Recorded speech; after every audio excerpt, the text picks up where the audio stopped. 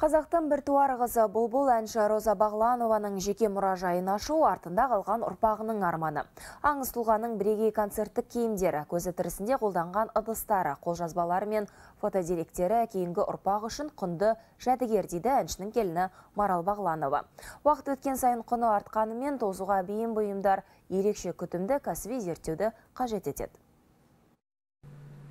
Алматыдағы мына пәтерде Роза Бағланова 15 жылдан астам уақыт тұрған. Ақтық сапарға да осы шаңырақтан аттанды. Мұндағы заттар Бағланова барда қалай тұрса, қазірде дәл солай еш өзгермеген. Әншінің 40 жылға жуық ойнаған фортепианосы, бірнеше сахналық көліктері, шетелдік сапарлардан әкелген ыдыстары мен кәдесыйлары тұр. Тіпті майдандағы отан қорғаушыларға рух берген өнер үшін алған алғыс хат пен өз қолымен жазған әндердің мәтіндері сол қалпында сақтаулы. Пәтердегі әр жәдігердің өз тарихы бар.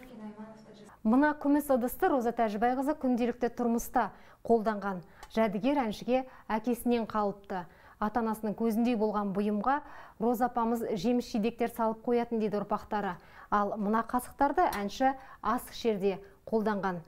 Бұл заттар бүгінде құнды жәдігерлер қатарында.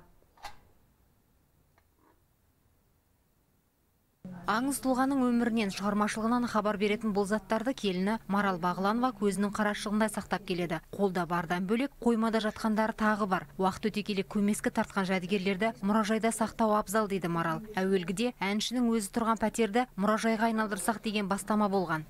Бірақ қара шаңырақ деп кішкене қимайым себебі өзім келін болып түстім бұл қара шаңыраққа немерелер дүниеге келді анамыз соңғы күніне дейін осы үйде бақытты өмір сүрді. Әрбір бұрышы анамызды есімізге салдырады. Анамыз ғана емес бұл халықтың адамы. Халықтың сұрау бойынша өзіміздің арманымыз бойынша жақсы бір мұражай ашылса деген ойдамыз. Адамдар көп жүретін жерде мәдени жерде.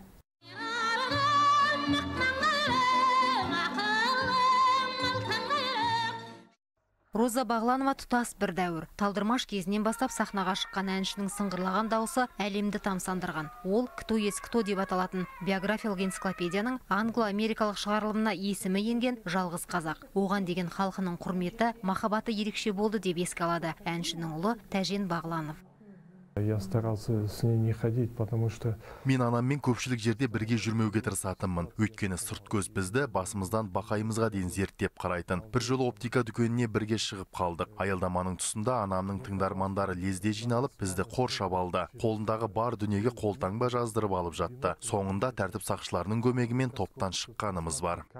2022 жылы Роза Бағланованың 100 жылдық мерейтойы ЮНЕСКО деңгейінде аталып өтті. Түрлі мәдени шаралар әншінің есімін тағы бір жаңғыртып ұлықтады. Енді жеке мұражай ашылса, ән әлемінің ақмаңдайы туралы барлық дерек көпке қолжетімді болар еді дейді ұрпағы. Гүлжан Көленқызы Сұлтан Бейсекенов, Хабар 24 Алматы.